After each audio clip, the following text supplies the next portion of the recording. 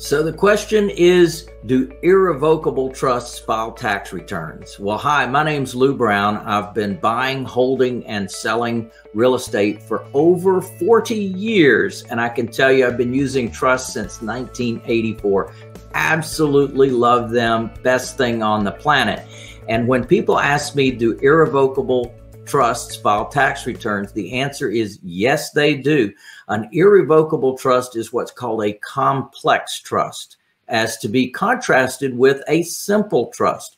So in fact, there's 30 different kinds of trusts out there, and they're categorized in two ways. It's either a simple type trust, means that it flows through to the tax return of the beneficiary of the trust. Now, that would be a simple trust.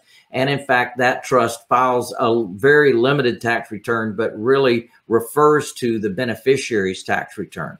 Now, the opposite of that is what's called an irrevocable trust. That's a complex trust. So, complex trusts do file tax return. They have their own EIN number. They have a separate form from the IRS called a 1041 instead of a 1040. It's a 1041. Uh, taxes as a result of filing using an irrevocable trust has its own tax tables as well. So it's definitely something you need to get advice from your tax professional on if you're going to take advantage of the benefits of doing an irrevocable trust, which can be many. So for some people, it makes more sense to do a simple trust. For others, it makes more sense to do a an irrevocable trust.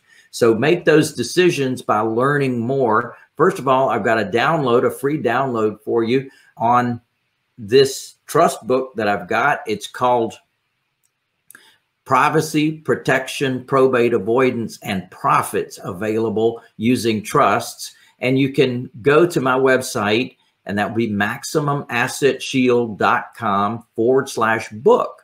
And you can download that book for free.